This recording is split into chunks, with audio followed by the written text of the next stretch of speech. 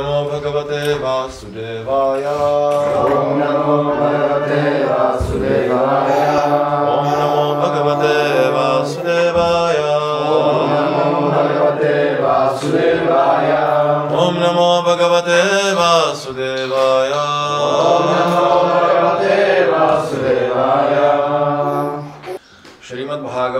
Zapletení do činností, což je zpěv 3. kapitola 32 a čteme sloku 37. Má drahá matko, vysvětlil jsem ti cestu o dané službě a její podobu ve čtyřech společenských ve čtyřech společenských skupinách. Vysvětlil jsem ti také, jak věčný čas pronásleduje živé bytosti, přestože ho nemohou vnímat. Význam. Cesta bhakti yogi o dané službě je hlavní řekou tekoucí k moři absolutní pravdy a všechny ostatní uvedené cesty jsou jako její přítoky. Pán Kapiladeva shrnuje důležitost oddané služby. Jak je popsáno výše, Bhakti yoga se dělí do čtyř skupin, z nichž tři spadají pod vliv kvalit hmotné přírody a čtvrtá je transcendentální, nedotčená třemi kvalitami. Oddaná služba, smíšená s hmotnými kvalitami, je prostředkem hmotné existence, zatímco oddaná služba bez ploduchtivých tužeb a snahy o empirické filozofické bádání čistá a transcendentální. Pravočam bhakti yogasya svaropam te chaturvidham kalasya cha vyaktagater yantardhavati jantushu.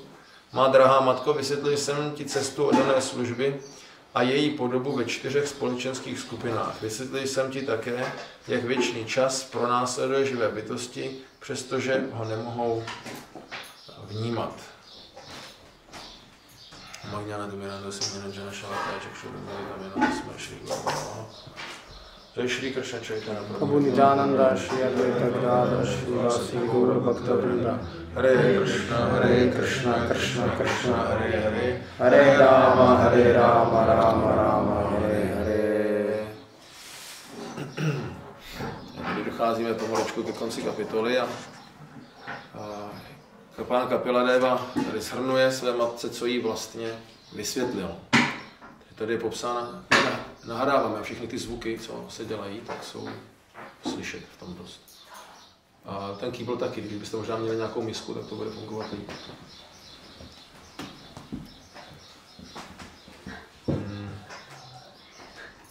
Takže tady je popsána, zmíněna nebo z, znovu oslovena odaná služba ve čtyřech druzích, kterými je velice specifický ten třetí zpěv. Ani nikde moc jinde neslyšíme o tom zmínky. Většinou se mluví o tom, jak je odaná služba transcendentální, oploštěná od tří kvalit hmotné přírody, jak za každých okolností očišťuje živou bytost, jak se díky ní dostaneme zpátky k Bohu, jak je nadřazená všem ostatním procesům a tak dále. A tady v, ve Šrimad Bhagavatam ve třetím zpěvu Kapila Deva mluví o oddané službě, která je vykonávána ve třech kvalitách hmotné přírody.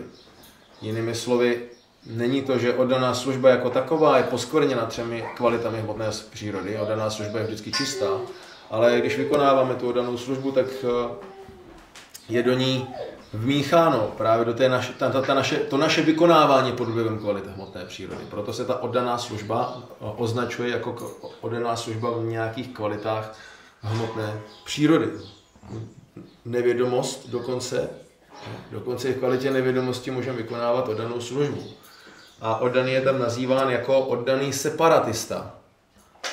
To znamená, že vnímá sebe do nějaké míry odděleně od nejvyššího pána, separuje se a soustředí se na sebe, ale hlavně se taky samozřejmě odděluje od, no, má tento sobecký vědomí a může se oddělovat od ostatních oddaných a dělá si to prostě po svém. A taková oddaná služba, jak tady šla Prabhupáda vysvětluje, což je zajímavý, je prostředkem hmotné existence. Takže když vykonáváme oddanou službu v kvalitách hmotné přírody, vášní, nevědomosti nebo dobru, tak je to prostředek hmotné existence. Nevede to k osvobození. Samozřejmě ta oddaná služba jako taková nás očišťuje. Ta, ten aspekt, ta část té oddané služby, kde je ta oddaná služba, tak nás očišťuje a postupně milostí kršně a oddaných můžeme dojít k tomu, že začneme vykonávat tu skutečně transcendentální čistou danou službu a ta nám už potom zajistí osvobození. Takže definitivně i když máme tyto nižší motivace a nebo nejsme schopni vykonávat kvali- oddanou službu v čisté transcendentální kvalitě, tak bychom neměli přestávat s oddanou službou. Protože co nám jiného bývá. Když už nemůžeme vykonávat čistou oddanou službu, tak aspoň vykonáváme nějakou oddanou službu, ale oddanou službu musíme vykonávat. Nemáme nic jiného na výběr. Nemůžeme si říct, tak já na to kašlu, stejně nebudu nikdy oddaný, tak budu rovnou maj. Že? Tady se budu snažit tady se budu snažit být eh, strašně kršně si vědomý a stejně mě to nejde, po tolika letech mám pořád ty stejný hrozný touhy, do, do ví, co ještě dalšího z toho srdce vyleze a už se i bojím trošku. Jo, praktikuju roky, roky, roky a pak se vždycky objeví nějaký rákšasa v mém srdci, nějaká uh, obluda škaredá, která se najednou začne sápat na povrch a najednou si říkám, pane jo, co to je? To jsem neměl předtím, než jsem vykonával danou službu. A začneme se bát, co ještě všechno v tom srdci je. To je jako když máme vyčistit žumpu. To je úplně stejná situace. Když čistíme žumpu, tak na vrchu je to usazený, jako je to trošku cítit. A když to otevřeme, je klidná hladina, tak se to ještě jako říká, jako taková vodička. No, vodička není to úplně ideální, ale jako je to přijatelný. No jakmile začneme to čistit a vrhneme se do toho, tak se opravdu můžeme bát, co všechno nás tam dole čeká. Co všechno tam potkáme. Eh, jaké různé substance tam budou schovány a v jakých různých hustotách. A to všechno je vlastně naše srdce. Když vykonáváme danou službu, tak tam najednou začneme že, bagrovat ven tu špínu, ty nánosy a tam v různých hustotách a v různých kvalitách s různými zápachy nacházíme různé záležitosti v tom našem srdci a je to velice nepříjemné. Proto někdy oddaní říkají, že když začali s oddanou službou, tak někdy se jim v určitých aspektech jejich života začne dařit hůř, než předtím, když žili. Například někdo přijede mezi odany a začne se strašně, jak tomu říkáme my tady, očišťovat. Bouchne se do prstu, tam se řízne, tam mu něco upadne, pak onemocní a najednou všechno úplně jako by byl konec světa. A říká si, ty, tak já jsem se odaný, bych sloužil Kašnovi a jediný, co se mi děje, tak trpím strašně. A nebo z jiného stránky najednou z nás začnou vycházet touhy, protože začneme abstinovat od smyslového požitku a najednou se v nás začnou probouzet touhy po smyslových požitcích, které nás ani nenapadly, že budeme někdy mít. Ale oni tam v srdci, drazí oddaní, jsou hluboko, protože za ty miliony životů si karmicky neseme v rámci našich samskár a subtilního těla strašně moc Eh, různých, jak bych řekl, věmů a zážitků a neprojevených tužeb, které čekají na to, až se projeví, až na ně přijde vhodný okamžik. A ta oddaná služba, jak to vlastně čistí, tak hmm, jak, jak to čistí, tak postupně najednou ty věci vychází na povrch a může to být velice matoucí. A když jsme když potom ještě nevykonáváme odanou službu prvotřídním způsobem, tak nás můžou opět stáhnout tyto věci a najednou jim začneme dávat pozornost, najednou jim začneme dávat péči a svoje vědomí do nich pohroužovat a začneme být oddanými právě v těchto kategoriích. Nebo. A my víme, že tento výrok není nějak neznámý, že, může, že tato oddaná služba je prostředkem hmotného života, hmotné existence, protože Víme, že je vysvětleno, že i když člověk může zpívat Hare Krishna Maha mantru i miliony životů, ale pokud bude zpívat pořád z přestupky, tak mu to osvobození nezajistí. Proto je strašně důležité velice vědomě pracovat na tom, aby jsme se zbavili přestupků vůči zpívání svatého jména Pána. Že? Jako je pomlouvání oddaných, jako je považování slávy svatého nebo považování jména Kršny za rovnocené se jménem Brahmy nebo Šivy, neposlouchat pokyny duchovního učitele a tak dále. Mnoho různých přestupků, které jsou tam obsaženy a samozřejmě ten hlavní, který je nejtěžší, to je nepozorné zpívání svatého jména. S tím se potom pojí samozřejmě nepozorné vykonávání oddané služby, kdy ta pozornost naše jde na spoustu jiných věcí, ale nejde na to vykonávání oddané služby jako takové, protože v našem životě máme nastaveny jiné hodnoty. I když chceme kršnu, i když chceme kršnu a i když eh, chceme nějak vykonávat danou službu, tak ty priority, které máme nastaveny, nejsou nutně nastaveny tak ideálně, jak by měly být. A proto Šrimad Bhagavatam v prvním zpěvu říká Káma se nendriya plítir lámho jiveta jávata jiva se tattva jignyasa nártho jaščeha karmabhi. Že životní touhy lidí by nikdy neměly směřovat ke smyslovému požitku. Člověk by měl chtít pouze to, aby žil zdravě a udržoval své tělo v pořádku a veškerým cílem jeho činnosti by mělo být dotazování se na absolutní pravdu. A nic jiného by nemělo být cílem jeho, jeho života. Nártho ještě karma by. Činnosti by neměly směřovat k ničemu jinému, než k tomu, aby poznal absolutní pravdu. Živa se tatva džigňása. Dotazoval se na tatvu, tatvamasi, na nejvyšší absolutní pravdu. Brahman, parabrahman, Kršna. A toto je, když je nastaveno jako absolutní priorita v našich životech, tak potom neustále vlastně se přistihneme, že přemýšlíme o absolutní pravdě. O Kršnovi, o filozofii, o verších, které jsme četli v Bhagavatamu, které jsme se učili. Přemýšlíme nad různými filozofickými aspektama od dané služby, jak je to myšleno, jakým způsobem se to vykonává a tak dále. Rozjímáme nad těmi věcmi. Protože to je priorita v našich činnostech. A samozřejmě, když je ta priorita je někde jinde, tak rozjímáme nad jinými věcmi. Rozjímáme, co budeme jíst, co si koupíme, co budeme dělat, s kým se budeme pobavit, jak nám bude dobře, jak a všechny, a do toho vykonáváme tu oddanou službu, ale spíš tak mechanisticky, že? že do toho vykonáváme mechanicky oddanou službu a do toho ve skutečnosti myslíme na spoustu jiných věcí, ale vlastně oddaná služba měla probíhat obráceně přesně. My vykonáváme spoustu jiných věcí, ale myslíme pořád na Kršnu. Pořád myslíme na to, jak se víc odevzdáme nejvyššímu pánu, i když kopeme příkop nebo děláme cokoliv nějak takzvaně materiálního, nebo jsme dokonce v zaměstnání, v práci, musíme tam dělat nesmysly většinou, že? Úplný nesmysly, které nás jenom uh, trápí, že tam musíme, jenom se díváme na hodinky, když konečně půjdeme domů. Ale i přitom můžeme myslet na kršnu a to je samozřejmě trošku snažší, než při činnostech, kdy, který nás přirozeně baví a který rádi vykonáváme a nejsou přímo nutně, já řekl, přímou oddanou službou. Takže Um, ten problém, který živá bytost má, je, že se soustředí na spoustu věcí, které dělá a když dělá oddanou službu, tak přemýšlí nad těma jinýma věcma. Když zpíváme japu, tak už si plánujeme, co budeme dělat přes den a organizujeme si svůj den. I třeba v rámci oddané služby, samozřejmě, když je někdo manažer, nemá hodně úkolů, tak eh, to tam přirozeně do té mysli jde a je to spojeno aspoň s oddanou službou, ale tendence je, že při té japě myslíme na spoustu různých věcí a když potom eh, děláme ty různé věci, tak myslíme na různé věci. Ale mělo by to být obráceně, že my myslíme při džapě na svatý jméno a na kršnu a když děláme různé věci, tak přitom myslíme na svatý jméno a na kršnu. Co nejvíce to jde. A to je vlastně povaha odané služby, která potom skutečně osvobozuje. Ty, tyto tři, dru, čtyři druhy odané služby tak jsou uh, velice, jak bych řekl, aktuální. Je pěkné si to občas přečíst tady v Bhagavatamu, aby jsme tak nějak porozuměli, kde můžeme mít zádrhel, protože my si můžeme myslet přirozeně, že vykonáváme oddanou službu tak, jak se má a vlastně není problém, ale když eh, patřičně nestudujeme knižky pravopády a neanalyzujeme tu naši oddanou službu, tak eh, nám třeba nemusí docházet, že ně, něčem děláme zásadní chybu. Že v něčem děláme zásadní chybu, díky které se neposuneme dostatečně rychle v duchovním životě kupředu, což vlastně nám dodává tu sílu pokračovat, že se pohybujeme kupředu, že děláme nějaký pokrok. A když člověk nevnímá, že dělá pokrok, tak většinou velice brzy přijdou pochybnosti o tom, jestli ten proces funguje.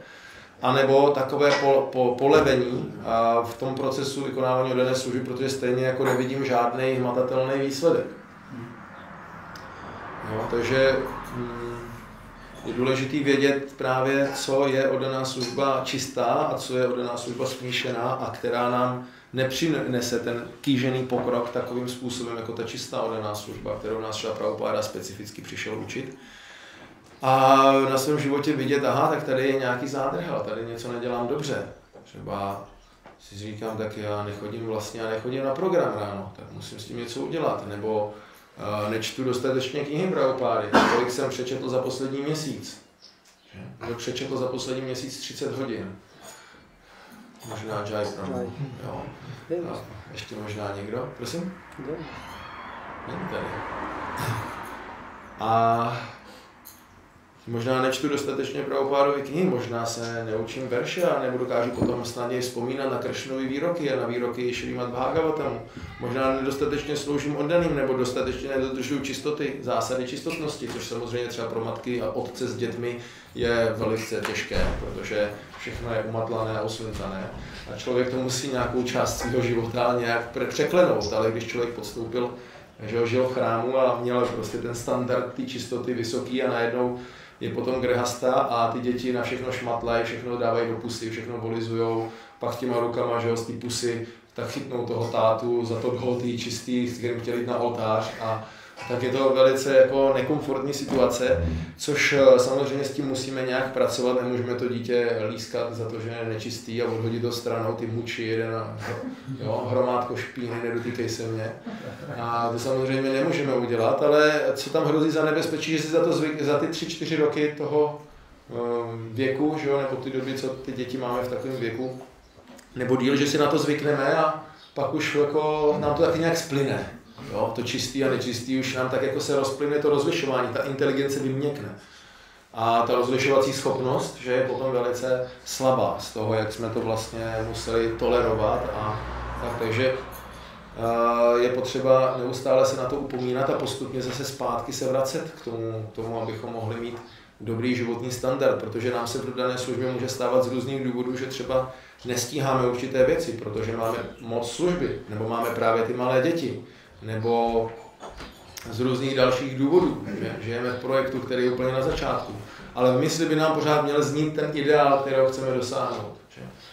Mít eh, kvalitní čapu každý den, že? mít mangala árat, jak jsme se o tom bavili, ranní program, večerní program, zpívat kirtan s oddanými. A to je něco, k čemu bychom se chtěli přiblížit v tomto životě ještě, aspoň. Nejpozději na tu Vána prastku.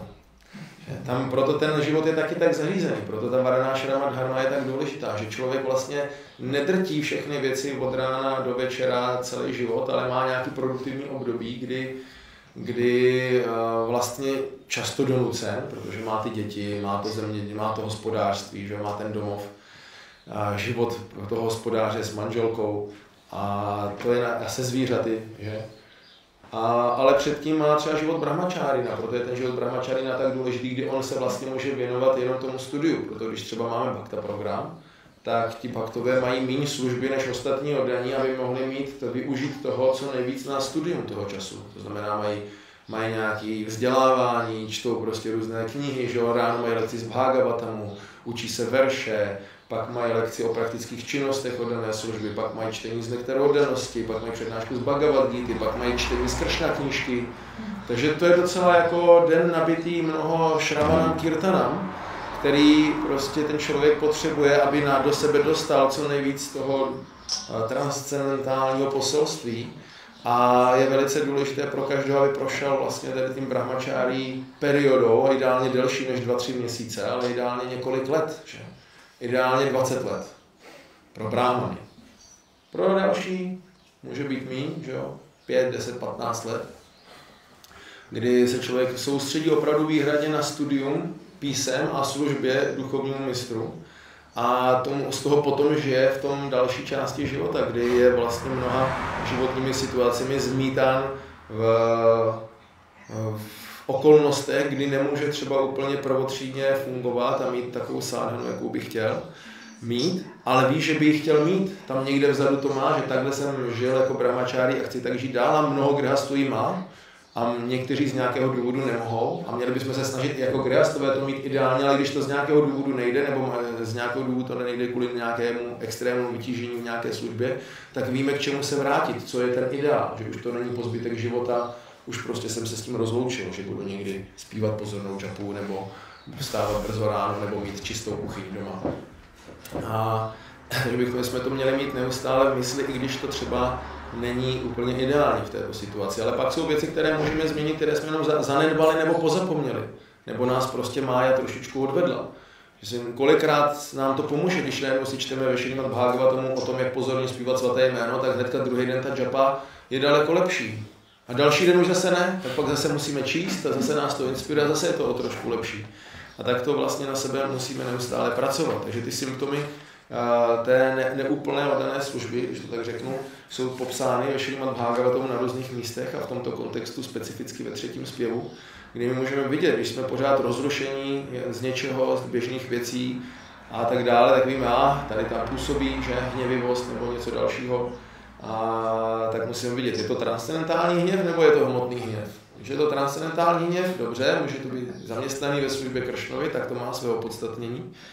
A člověk se může hněvat, že může hněvat na materialisty za to, jak eh, se odvrátili od Kršny a nebo znevažují oddané. Na nepřátelé Kršny se může hněvat, nebo guru se může hněvat na žáka, rodič se může hněvat na své děti a tím způsobem je vlastně vychovávat a vzdělávat, protože když nebudeme trestat tyto děti, tak je vlastně zkazíme. Proto je důležité je nějakým způsobem kárat a vychovávat, protože jinak vlastně budou zkažený. A, takže v tomto případě je to opodstatněné, ale pak můžeme vidět, jsem zbytečně rozně, rozněvaný, chytám amok. Jo. Ideálně, jak být rozhněvaný na někoho, kde je v našem podřízeném postavení, je, že my jsme docela klidní, ale rozněváme se za tím účelem, aby jsme ho Ale to neznamená, že se nemůžeme úplně rozněvat, že když je něco vykonáno špatně pro kršnu, tak šla Prabhupáda vidíme, že se opravdu hněval. Ne, že to hrál, aby jako se hněval, opravdu se hněval. Ale bylo to opravdu proto, že chtěl, aby pro Kršnu bylo uděláno věci správně a nejsou. Je to kvůli Kršnovi. Otázka, jestli se hněváme kvůli Kršnovi nebo kvůli sobě. Že já jsem nebyl respektován, že mě nebylo vyhověno, že já nejsem prostě brán a vážně třeba a tak dále. Takže tady v těch, eh, můžeme vidět, tady v těchto popisech se trošku podívat vždycky na sebe a vidět, co můžeme zlepšit a změnit v naší oddané službě a to hodně to pomáhá. Jo. Člověk, eh, když je nějakou dobu jako oddaný, tak eh, znovu a znovu zjišťuje, kde musí začínat znovu. jo, že, že, se snaží, snaží, snaží a pak vidí, a tady to mě vypadlo, tak se snaží to tam napravit, zapracuje na tom, pak je, tohle mě vypadlo, tak zase zapracuje tady na tom, pak zase dělá něco jiného a tak. Přirozeně, že najednou zjistí, že moc nečte, protože má moc služby, ale už to, už to trvá dlouho. Jo? Už to je týden, dva, tři, čtyři, pět, šest, sedm, osm, devět, deset. Když už je to 11, 12, 13, 14, 15, kdy nestíhá číst, nebo rok, dva, tři, jo, kdy nečte moc knihy, pravopády, tak to je, to je vážný problém. A pak začne číst, ale většinou, když hodně čteme, tak potom ty ostatní aspekty se drží taky docela dobře. Ale třeba nevykonává na tolik služby, která je taky potřeba. A místo toho, aby šel odenem pomoct se službou, tak si čte, protože chce hlavně číst. To taky není dobrý. Já nemůžu pravu, já čtu, to je ta nejvyšší služba. No ale tady je nepořádek. A pak máme ty výroky pravopády, to vaše, tak, ta vaše takzvaná džapa, tady máte nepořádek. Co to má být? Takže v první řadě my musíme mít pořádek všude. A zároveň musíme stíhat i číst. Zároveň musíme stíhat i zpívat svaté jméno a snažit se ty věci uspůsobovat neustále tak, aby jsme měli minimálně, co, teda jakože alespoň uh, kršnu co nejvíc ve středu. A někdy nemůžeme stíhat číst úplně ideálně, někdy nemůžeme zpívat svaté jméno, tak v tu dobu, v kterou bychom chtěli, že? protože třeba žena, která žije v domácnosti a má malé děti, tak nemůže zpívat ráno svaté jméno. Pokud není tak schopná, nevstane ve dvě hodiny třeba.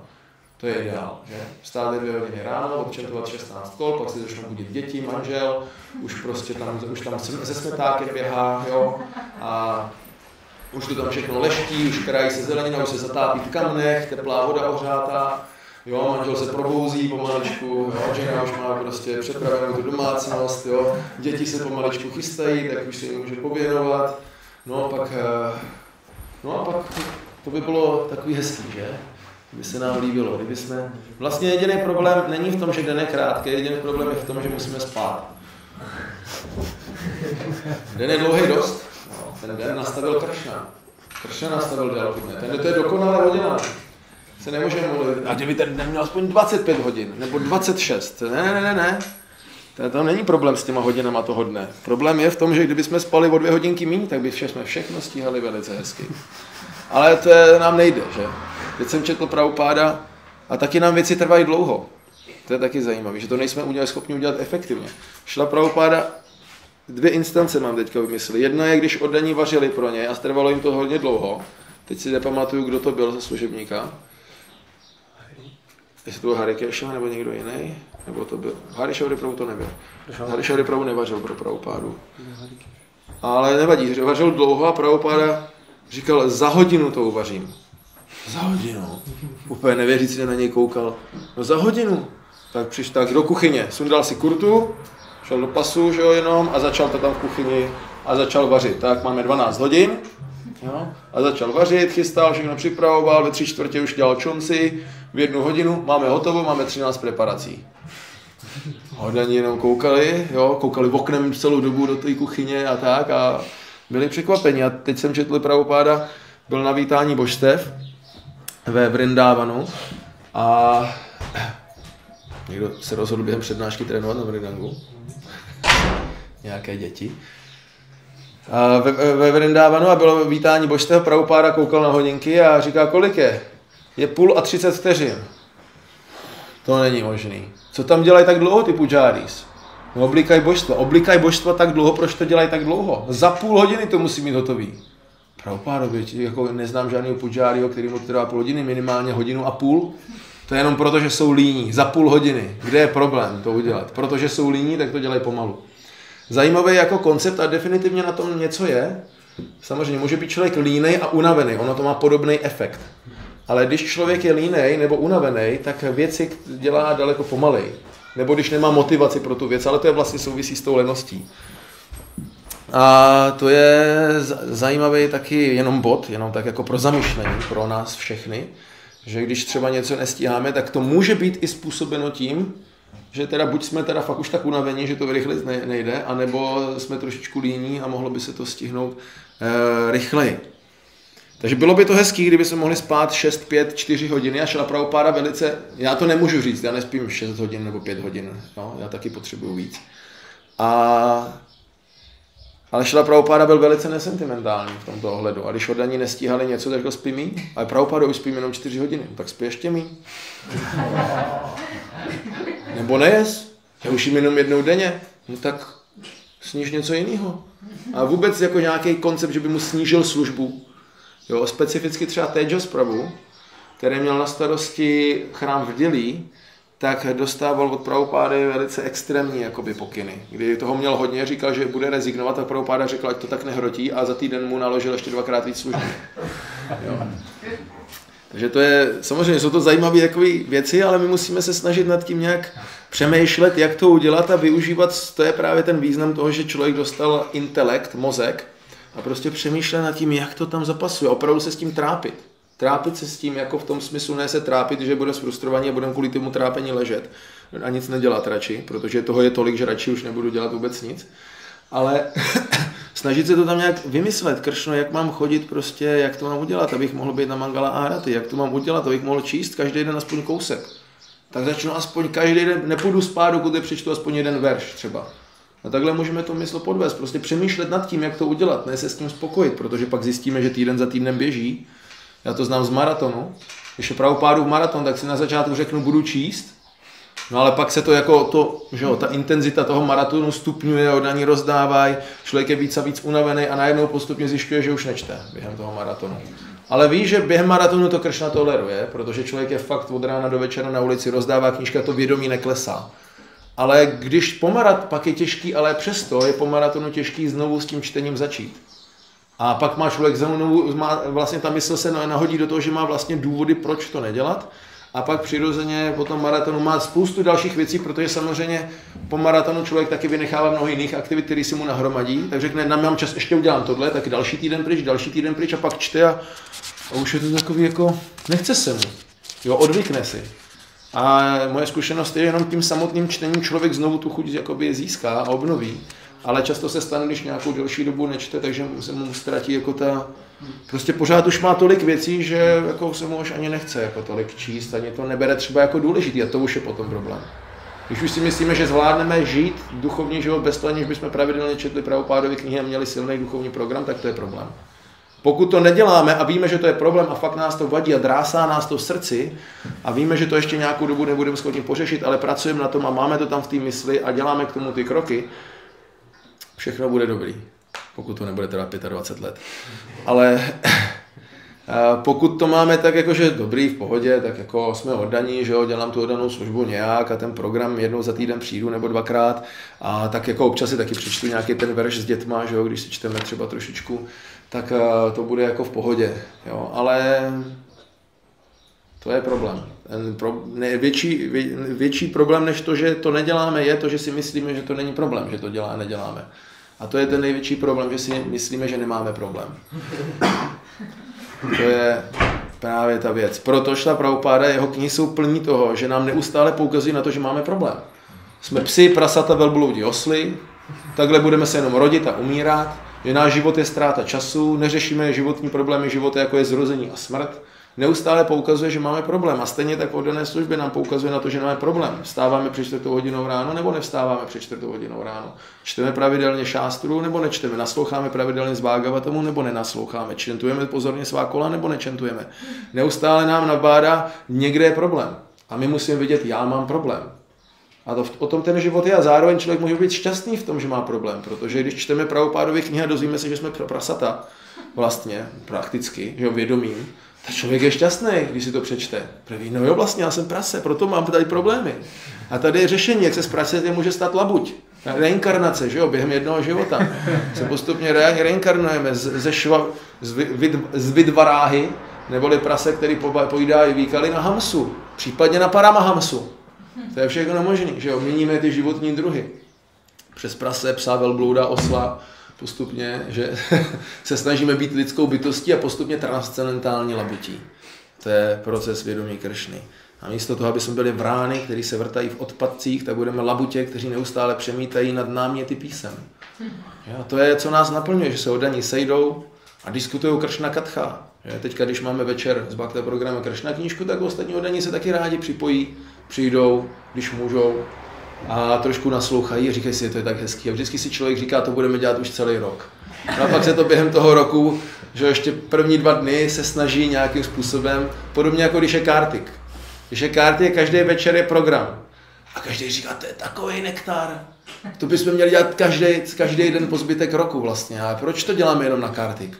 Ale nějak to, jo, když to jakoby není jakoby nějaká předepsaná už jako povinnost, tak nám to tak nějak vypustí se. Jak jsme se zmiňovali včera, šla Prabhupáda chtěl, někdy se zmiňoval, že by oddaní měli zpívat každý večer třeba 4 hodiny kirtan v každém chrámu. Velice těžký napasovat. Jo? A když čteme ty rozhovory z nového Vrendávanu, jak tam manažerují ten čas svůj, tak Prabhupáno, my tady máme 6-7 hodin jako naslouchání opěvování, to nemůžeme snížit, ale my nestíháme spoustu věcí. Ale tohle snížit nemůžeme, protože to je vlastně, proč jsme tady, aby jsme naslouchali, opěvovali. Ale zároveň je to velice těžký tam zapasovat. Takže mnoho různých věcí, mnoho různých aspektů, které nás jakoby odvádí od toho, aby jsme měli pěkný duchovní život a my se s něma musíme vypořádat. To neznamená, že oddaný, který je od rána do večera zapojen do služby a nestíhá mnoho věcí tak ideálně jako někdo jiný, kdo může celý den číst a naslouchat, tak je na tom hůř, protože jeho činnost je taky oddanou službu, ale musí to být oddaná služba a musí to být děláno opravdu s touhou pro kršnu a obětovat se vlastně pro potěšení šly praupády. To je, tam musí být ten klíčový faktor. A když vidíme, že to ovlivňuje naše vědomí, a jsme k sobě dostatečně upřímí, tak musíme i tam něco změnit. I když člověk jenom, zase jak jsme se zmiňovali, když jenom rozdává k něco, že čistě transcendentální aktivita, tak se může stát, že jeho vědomí bude klesat, když nebude mít vyváženo ze čtením například. Proto někteří oddaní dělají, že i při tom Sankirtanu si sednou třeba na lavičku a přečtou si pár stránek z Bhagavad Gita nebo z Bhagavatamu. Proto Prabhupáda taky říkal, tyto knížky nejsou jenom na prodej. My nejsme, pak se z toho Sankirtanu stane prodej. Prodávání knih, budeme prodavači, díleři. Samozřejmě prodáváme transcendentální produkt, takže tento, to, to, to, to, mm, ten benefit z toho sklízí jak my, tak ty bytosti, co dostanou ten transcendentální produkt. A naše vědomí přesto může klesnout, pokud bude na úrovni prodavače kdy nám jde jenom o to vydělat, nebo jenom být první na listině, nebo cokoliv dalšího. My musíme mít eh, ty věci vyváženy a eh, vykonávat tu oddanou službu tak, aby opravdu nesla ty příslušné plody a přiznat si, že máme někde problém a na tom problému neustále pracovat. Že když třeba, já nevím, já se mi teďka párkrát stalo v týdnu, že jsem nebyl na přednášce, protože jsem nestíhal dělat určité věci organizační, takže jsem je dělal, když jste tady měli přednášku.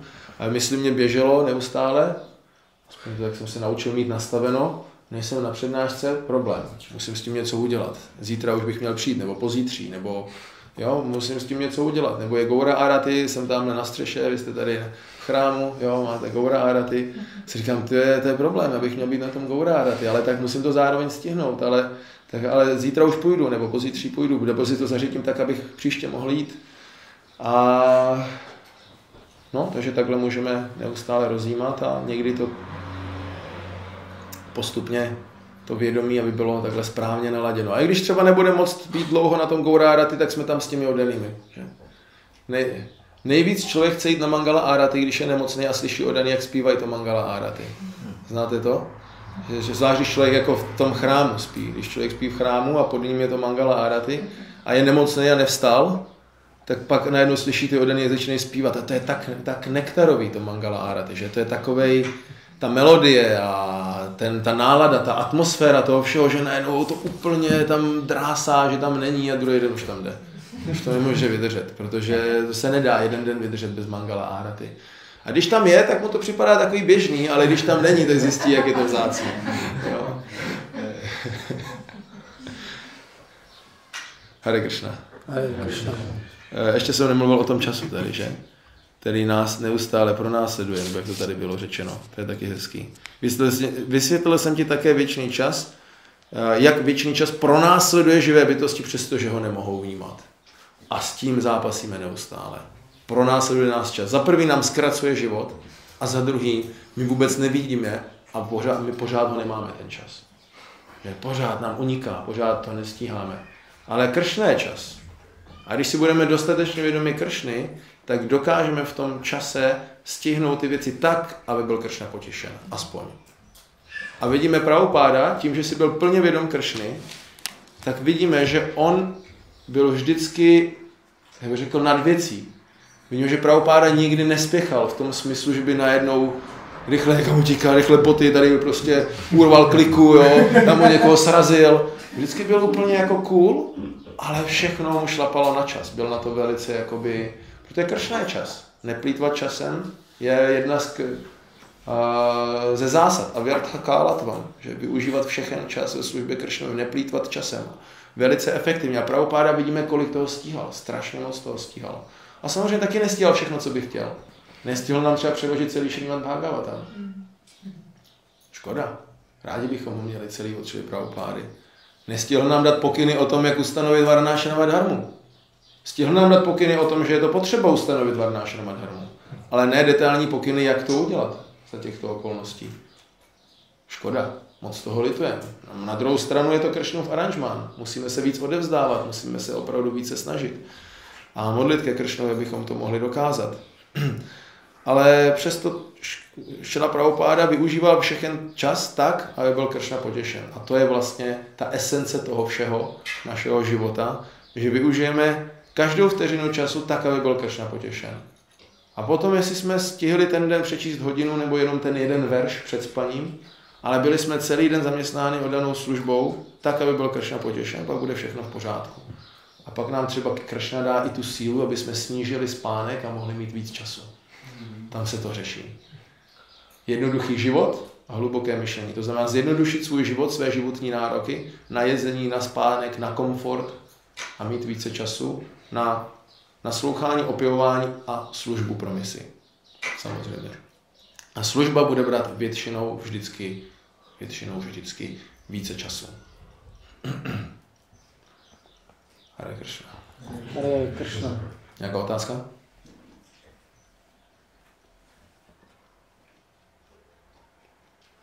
Hare Krishna, Shaprabhat Srimad Bhagavatam ki jai.